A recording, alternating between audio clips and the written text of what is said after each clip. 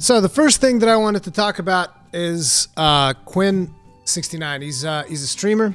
I'm sure that a lot of people will be aware of the situation that happened with Quin. I'm not going to be pulling up like all kinds of different clips because we're doing this live on stream and I don't feel like sorting through clips and whatnot. But um, Quin decided to try out Final Fantasy XIV. And he didn't like it. And that's fine. That is perfectly fine.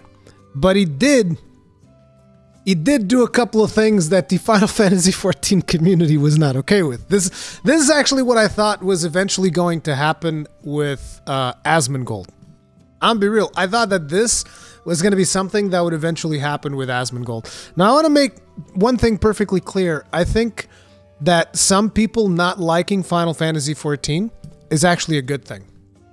I think this is a good thing because, like I always like to say, if you make a game that is for everyone, you eventually end up making a game that is for no one because you're trying to get literally everybody into your game. And you know you kind of start losing track of the reason people started playing your game to begin with. So i'm actually pretty okay with the fact that quin didn't like it. And i think it's fine if he didn't like it. And i don't think you should have to like you know take a bunch of crap for not liking the game that's fine I also think that he was wrong in some of the things that he said. Neither here nor there. Don't really care that much about it. So, uh, what happened with Quin is that he started playing the game, and if you see here, he says, "I read all the lore for the first three days, even in character." I don't know if this did he stream the game for three days. I don't know if this was how long he streamed it for. I kind of feel like the Quin situation to me was like over the course of a day. Like all of a sudden, one day I just see a bunch of stuff about how everybody hates Quin sixty nine or whatever for uh, for him not enjoying the game. It's like he says he did read the lore, but he didn't like it. He got bored. He was going to quit the game because he was bored. Now, I wanted to point something out very important here. And this is something that uh, I think is important for people to know if they want to play 14. Once again, I want to make sure people understand whenever I whenever I point stuff like this out, this is suggestions because like look, you play games however you want to play games. None of my business. You play games you want to boost boost, I don't care. I'm not going to judge people for boosting. Do not care one iota. Okay? So what I'm saying here is advice more than anything. Catnet, thank you very much for being Grilsey Incandescent for 11 months. Tip of the hat. Appreciate the support. So, um, and the thing that I wanted to bring up is the fact that when you're playing Final Fantasy, I kind of feel like the the vibe that Quin went into this because of the fact that he got bored with it so fast, the vibe that I get from the stuff that I've seen so far is that Quin wanted to get to that point where you know, like say for instance, if you're playing World of Warcraft, Quin wanted to get the Shadowlands. He wanted to get to the equivalent of Shadowlands in Final Fantasy XIV. So he wanted to get the Shadowbringers. He wanted to get there fast. That's the vibe that I'm getting for the stuff that happened because he got bored so quickly of the game, right? And in my opinion, that is not the most healthy way to play Final Fantasy XIV. And why? Why? Let me explain why. The reasoning why is because unlike something like um, you know World of Warcraft, Final Fantasy 14, and I've said this, probably some people have heard me say this, Final Fantasy 14 does not make its content obsolete just because it's old content. Now, those of you who have been following the uh, Asmongold situation, you'll know that Asmongold's been doing minimum item level extreme trials minimum item level, Coils of Bahamut, which is impressive. Like, listen, you guys, there's I didn't do minimum item level extreme trials. I didn't do minimum. I got carried through Coils of Bahamut because I wanted to see the story. Okay. I want I wanted to do that, but I couldn't because I didn't have enough people. Like when I went to do Coils of Bahamut, I think it was me and like three or four other people. We went to do coils. So I couldn't even get enough people to fill a party. And when I was playing through the game, the game was not nearly as popular as it is right now. So I couldn't even just get like an organic party to go through coils. It was just, you know, It just wasn't a thing that I was able to do. Asmongold, on the other hand, beat that thing, minimum item level, all, all that. And it was, if you go and you watch the videos of that, it's as engaging as any raid that you go and watch, right? So that is content from like 2013. That's content from 2013. Okay? Coils of Bahamut. Actually, I don't know if it's 13, 14, I don't know, around there, right? So as you can see, that is a clear indication that the you know the content that you have in Final Fantasy 14, even if it's just Realm Reborn, even if you're not already at Shadowbringers, the content is relevant and it is fun. So long as you're able to, you know, get a party to do it. You don't have to do like minimum item level extreme trials or whatever. Just doing regular trials is fun. And even just getting a friend to go through uh, you know, Coils just to see the story of Coils is important. I've always said if you finish Realm Reborn, if you can't get someone to go through Coils with you, you should watch the cinematic on YouTube at least to get the context of the story. Um, you guys are saying that Asmon really enjoyed the the the coil story. That's because the coil story is super important to actually understand what happened in Realm Reborn. So, you know, that's one of the reasons why I'm like, you know, if you're to play 14, don't think of it as we need to get to Shadowbringers. Because I kind of feel like that's the energy that a lot of people are bringing in. Because I've just looking through my comment sections, I see constantly people saying, "Oh, it's so boring. I can't wait to like get to Heavensward. I can't wait to like get to the part where it gets good."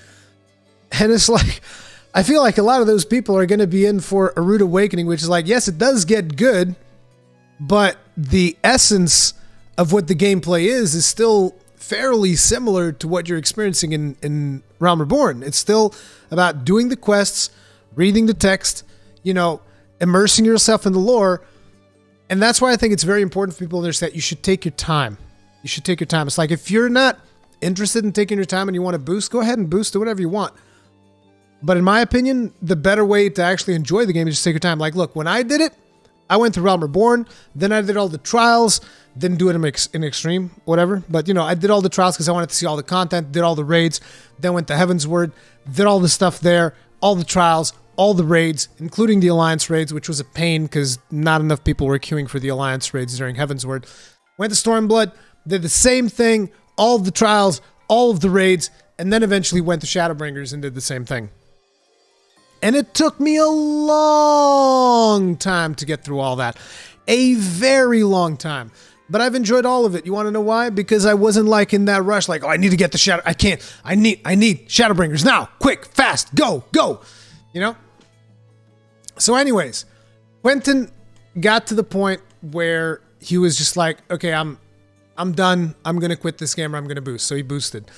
The problem was that he boosted, and then he wanted to go do raids, but he hadn't had the time to learn because you see, unlike World of Warcraft, where in my opinion, there really isn't as much of a learning period for raids. So whenever you want to go do raids, your average player, what you're going to do is you're going to look for guides.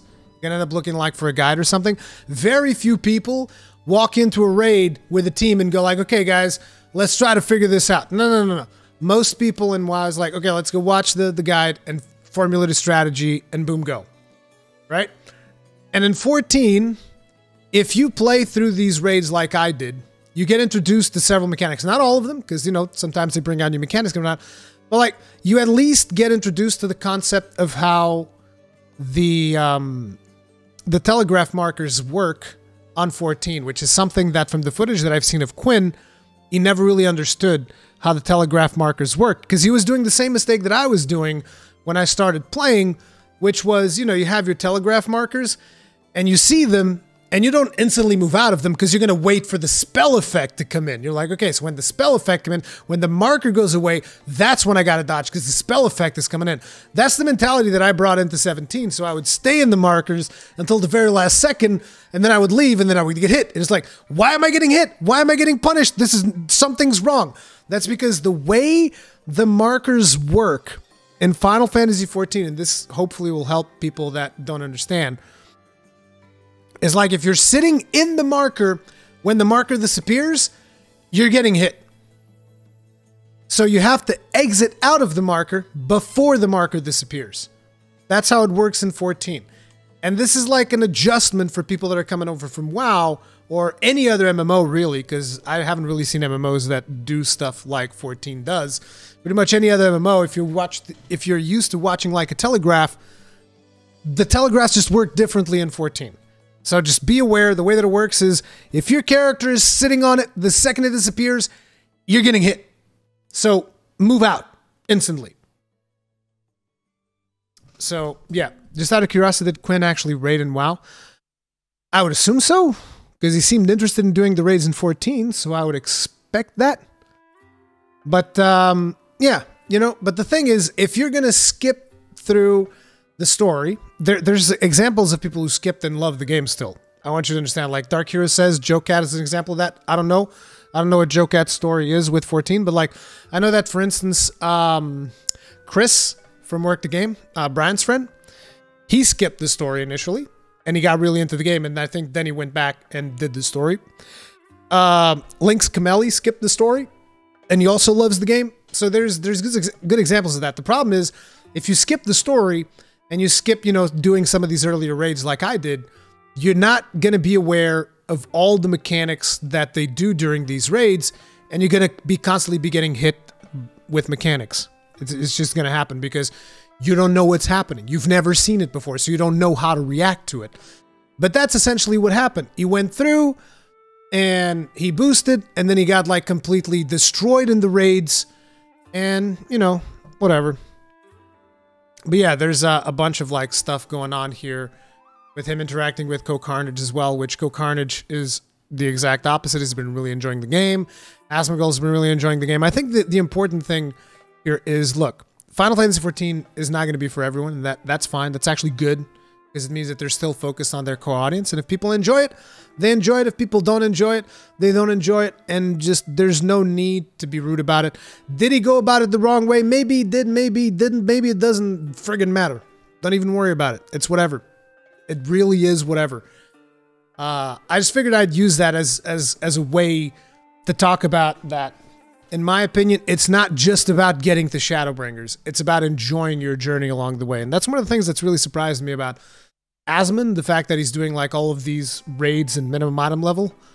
And yeah, that's that's kind of like the way that I would advise people to experience it. I mean, obviously not everyone's going to be able to have like a party to do minimum item level, even though there's a lot more people playing the game now than when I started playing. So there might just be a shot at doing that. But just like seriously, take your time with it and enjoy. Even Quentin's own mods berated him for the way that he was judging the game. I get it. I get it. It's like it's sometimes it's rough. You see some like I I too get upset whenever someone starts trash talking Rise. I mean, we've all seen it. We've all been there before. But even I should just like rise up above it and be like, no, don't. It's whatever. Okay, you guys don't like Rise. It's not for you. Whatever. Goodbye. Go go play something else. You know? The thing is, everyone who plays the game tells you what to expect with Realm Reborn. I liked Realm Reborn! I did! I didn't think it was that bad. I don't I don't know. Uh, and I and I did the what is considered the bad Realm Reborn, which was before they streamlined it a little bit. Like, were there some quests that were obnoxious? Yeah, the stuff before Titan was atrocious. The stuff before Titan was really, really obnoxious and it, it, kind of upset me a little bit. But you know, it's not the end of the world. It's whatever. You know?